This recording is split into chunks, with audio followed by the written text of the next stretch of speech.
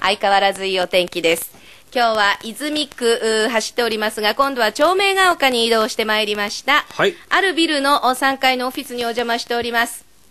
ペット輸送ゆりかごさん覚えてますか？はいはいはい。ええあのね、遠方に引っ越しをするときに、ペット、動物がもう荷物同然にえー扱われるのはもう耐え難いということで、だったら自分で、そのペット輸送引っ越しの時あるいは動物病院に行く時などのにえー一緒に乗っていくそのタクシーとして、うんうんペットタクシーとして、えーもお仕事をしていこうということで会社を立ち上げたばかりだった藤田直之さんのオフィスに今日はお邪魔しております。はいはいお邪魔します藤田さんご無沙汰してまこんした。にちは。お世話になっております。こんにちはこんにちは。えー、とビルの中がすごいことになってましてあのシートとか、えーえーペットたちのご飯とかカゴとか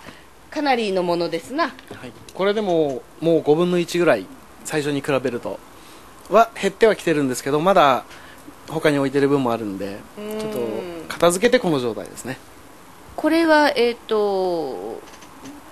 被災地へのあの救援物資とそううことですか？あのー番組でもよくあのー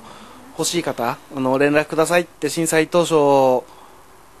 告知していただいたんですけど、その方たちに届けている荷物です。結構まだやっぱりいらっしゃいますか？そうですね津波が来たところの人はやっぱり、ね、まだまだ大変なので、うん仙台市内の人は、ね、自分で用意できても仮設住宅に入っている方とか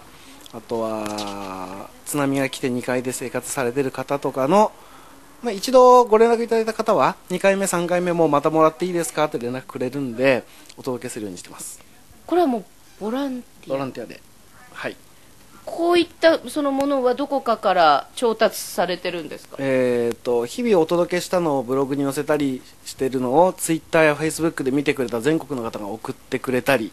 あとは仙台市動物管理センターさんと協力してやってるので足りない荷物は、えー使わせていただいたりしながら。ねえ。あのペットとはいえね家族ですから、はい。本当にその家族が今生きる力の源になっているっていう方も少なくないと思いますしえそうでしょう？やっぱりそういう声も様子も見ましたでしょう？そうですね。もうしょっちゅう泣きますね。ねえ。はい。今もそういう方たち必要があればはい、配達は？そうです。あの連絡いただいて仕事との両立しながらなので、えー伺う前に電話入れますねって一度切ってであと自分の仕事の都合のつく時にこう3件4件まとめてお届けさせていただく形ですね、助かってる人多いわな。あのお仕事の部分はどうですか？結構あの仮設住宅の方に行くそうですけど。そうですね。あのー仮設住宅に入ってらっしゃる方は、まあ、お家と一緒に車も流された方も多いので仮設住宅から動物病院に、えー行く時の送迎。要は今まで行ってた動物病院に行きたいんだけどちょっと離れちゃったんでっていうんで送り迎えさせていただいたりあとは日中トリミングに行く時に、えーもう顔なじみなんでお預かりしてお届お届けしたり。そんな感じですね。あとはあの、まあ、福島の影響があるのかちょっと宮城県離れるっていう方からお引っ越しの相談をいただいたり役に立つんであれば何でも聞くようにしてます。そんなにそんなにずっと前ではなかったんですけどまあお話を伺った時と比べたらすごいすごいこう活動の幅とか人脈とか広がりましたよね。そうですね。皆さんに、えーで助けていただいて、もちろん震災起きたその日から翌日から東光さんにも足運ばせていただいねて。なんかやりたいボランティアをさせてくださいって来てくださったんだけどそれこそ東北放送自体がごった返しておりましてごめんなさいいやいやもう間を縫うように行って、えーご担当者さんのところに行って、えー僕は無事ですんで何かあったら声かけてくださいって顔出させていただいて。その延長線上なんで全然、ね、僕が無事なのを知っていただいて役に立つんだったら声かけていただいて。っていう感じですかねあの今もね動物と一緒に暮らしてる方で、えーなんかお困りだったりとかねそれからどこへ出かけるにも足がないという方はぜひご相談、えーいただければいいかと思います。ペット輸送ゆりかごさんです。そそれからまあ私たちこれ宮城東北の大変な中で暮らしているような気がしていますが実はこれ全国にやっぱり広がっていて今何ですか？東京都の千代田区さんと随分声にしてそうですね、えー、千代田区さん自体がペットに優しい街づくりっていうのを標榜してまして。で野良猫がいない街なんですよ。えでそれはボランティア団体さんが保護して矯正手術をして、えー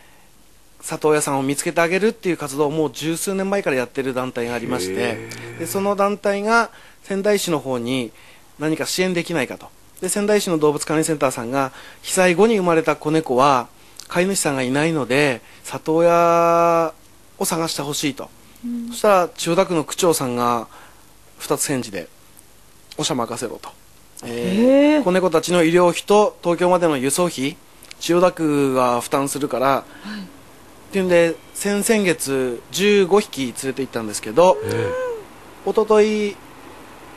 連れて行った最後の15匹目が決まっ里親さんに決まったみたいで。で、ね、ありがたいことに、えー被災地の応援の意味もあるから、えーゆりかごさんって活動してる人いるからその人に運んでもらってって声かけていただいてで一緒に、えーそういう活動もさせていただいてます。だから全国でそうやってさ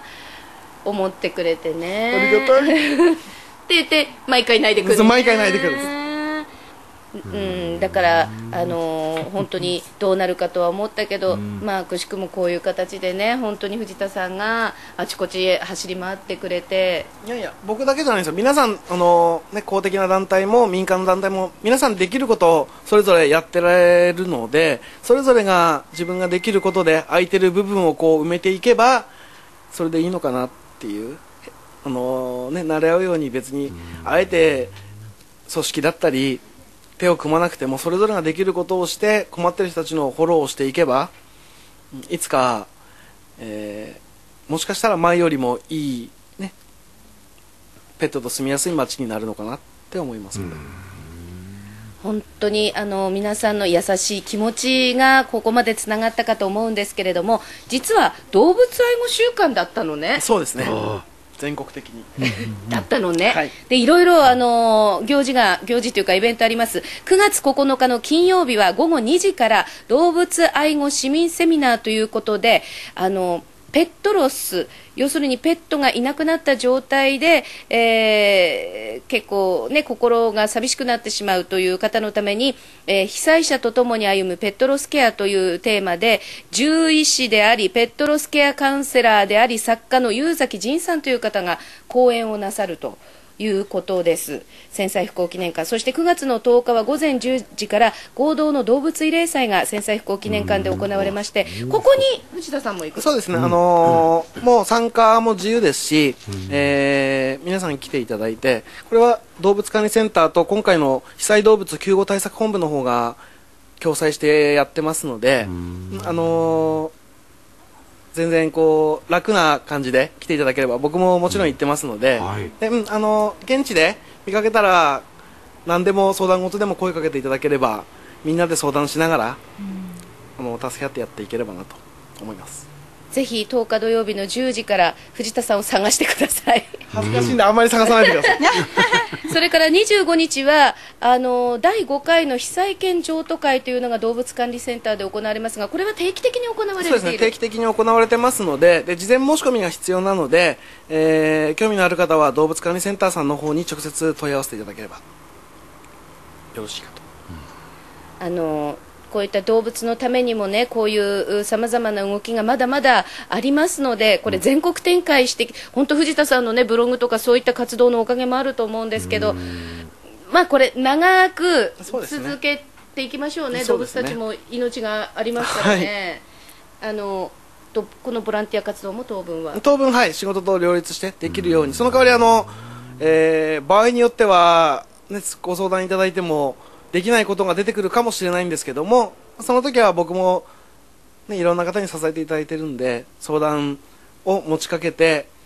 あのできないことはできないってはっきり断りますので、あの何でもとりあえず聞いてみてください、はい。そうですね。そういうネットワークを生かしてということです。えーまさかと言ったら失礼ですが、こんなに大きく展開というかね、えー、活動しているとは、えー、びっくりですけど、すごく嬉しかったです。ペット輸送ゆりかごさん、えー、元気に頑張ってくれていました。藤田さんでした。ありがとうございました。ありがとうございました。ありがとうございました。